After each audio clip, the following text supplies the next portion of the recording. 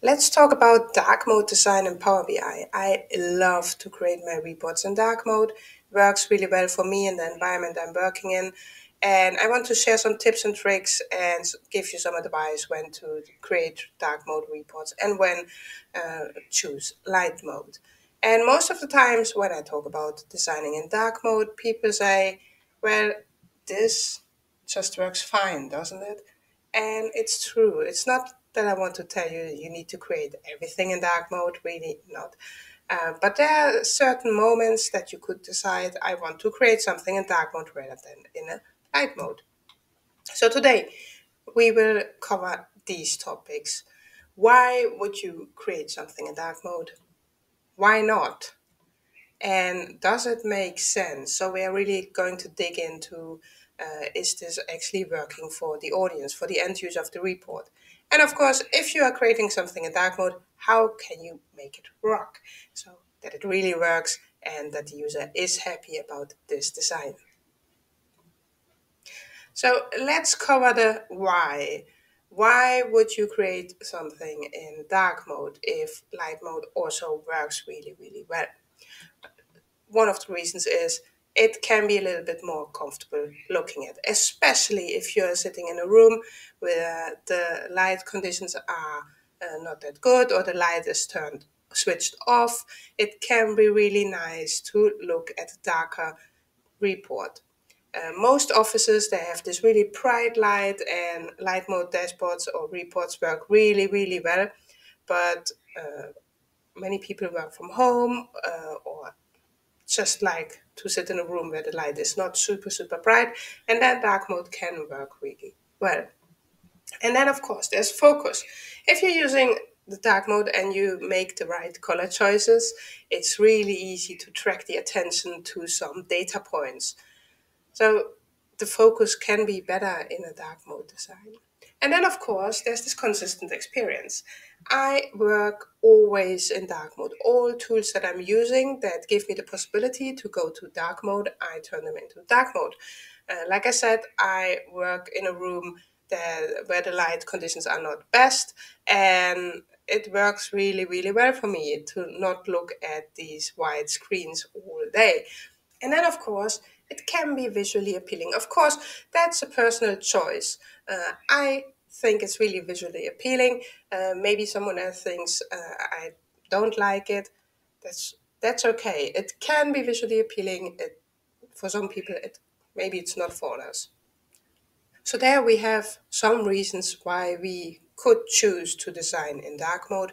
And I also want to talk you to you about the why not because it's I think it's also really important to cover that topic and not just tell you like everything's perfect, do everything in dark mode. There are really good reasons to not design in dark mode. And one of them is contrast. Um, it can be really, really tough to design on a darker background because you need to use really bright colors so they're not getting lost in the background. So there's not so much color choice, and the colors you can use, they need to be quite bright. Which means if you have visuals with a lot of different colors, it can get really distracting. Which is also the second point focus and attention. If you're using a lot of colors in dark mode reports it's hard to focus on the right uh, data. And then there's readability.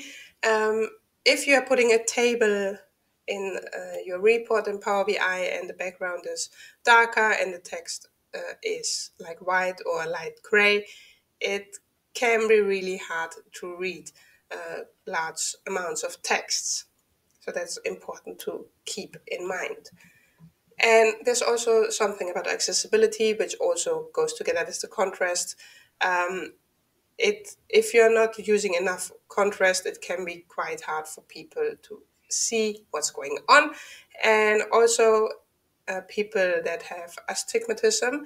Uh, so it's something with their eyes. Uh, for them, the text in dark mode can look a little bit uh, different and harder to read. So, like I said before, large amounts of text maybe don't use a dark mode design. And of course, there are less color possibilities because all colors you're using need to be really, really bright. So then how do we decide does it make sense or not? How can I decide if I want to create something in dark mode? And if you're wondering about that, how can I choose? Does it make sense for my audience, for my end user? You always should keep in mind that you're designing for the end user. You're not designing for yourself. So if I would des- always design for myself, there would probably be 90% of dark mode dashboards at all my customers, but I'm not designing for myself. I'm designing for someone else. So the question should be Does the user benefit from it? Does it make sense for your end user? I have some examples for you. A support team, and this could be any team, it could be just a team working in a room where the light is maybe turned off or not that bright, and all the tools they're using they're in dark mode.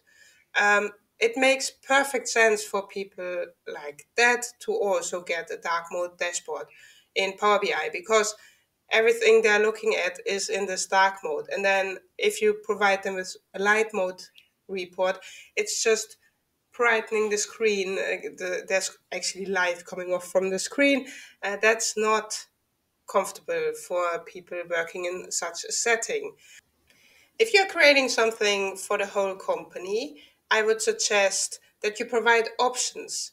So don't choose for everyone you need to look at this in light mode or you need to look at this in dark mode, but provide some options like using a light and a darker version. And I will talk about that later on how you can do that.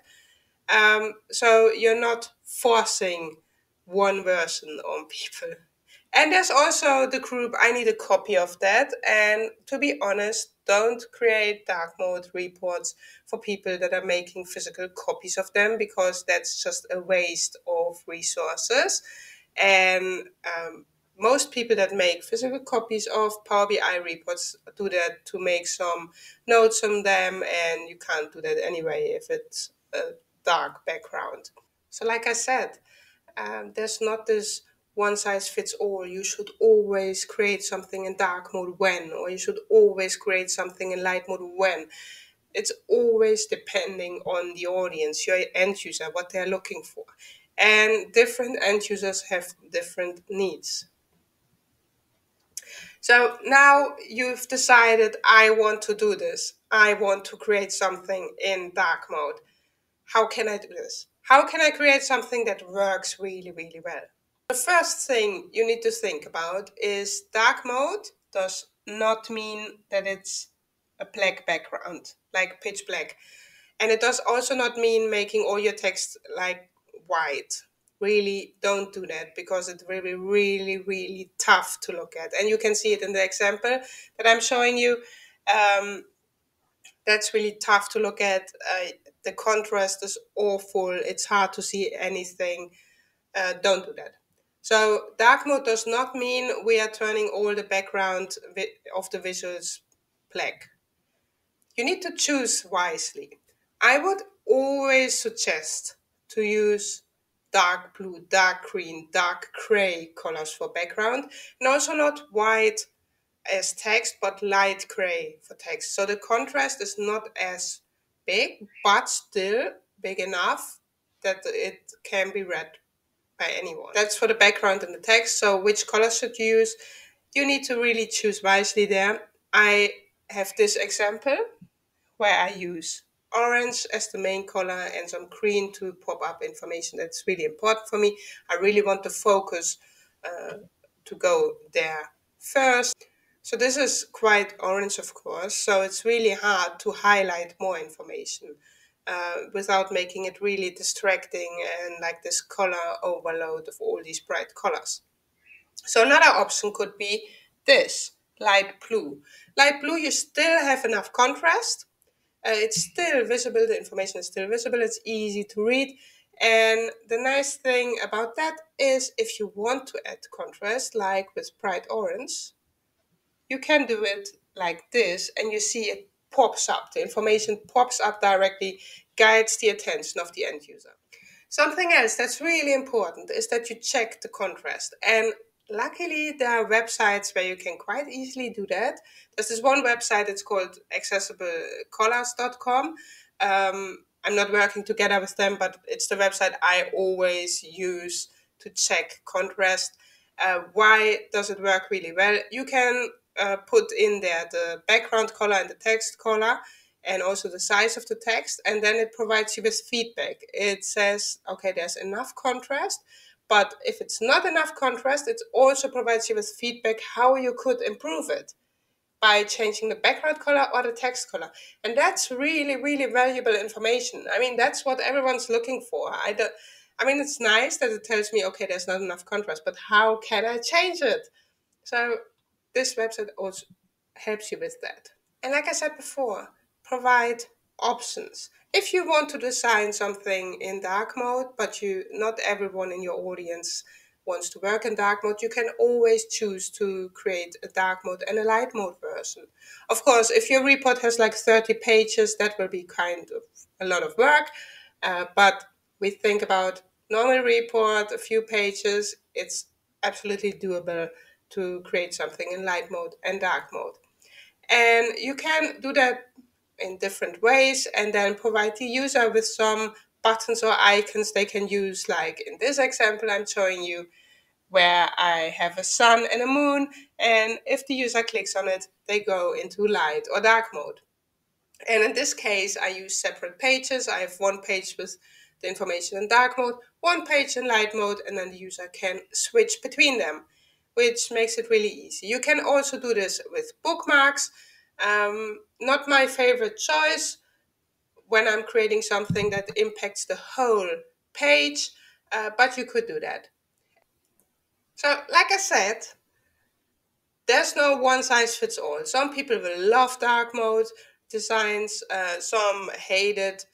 Uh, there are reasons to use it, there are reasons not to use it. Really, in the end, you always have to talk to your audience and what they need.